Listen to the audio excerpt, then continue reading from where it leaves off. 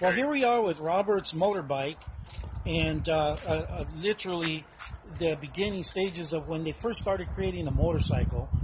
Uh, so this is a bike, a regular bike, Beach cruiser.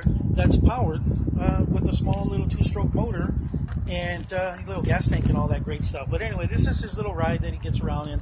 But the reason why we're here today is because uh, We had a brilliant idea. yeah, we had a brilliant idea. Well, first of all, um, if, as you can see, there's a cell phone just sitting here on the handlebars, and we have a nice little portable radio that's right under there, under the gas tank, and you got a charger right there as well.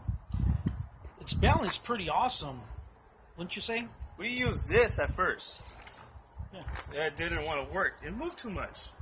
Get rid of it. Then we thought, hey, string, it's a lot stronger. No, it's flimsy. Look it, it unravels with weather. Get rid of that. What can we use? They say. What do you think, LT? What do we use? What? Well, what really works well to hold things together? Let's show you right now. Oh, I was like, I need a phone.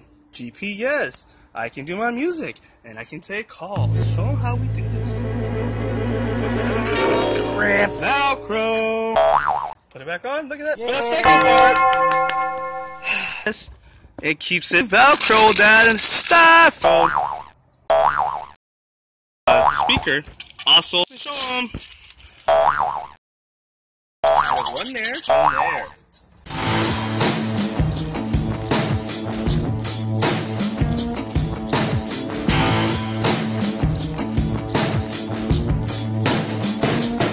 Is LT? It's about five. Alright. Outro. Say no to string. Yeah. Look around here.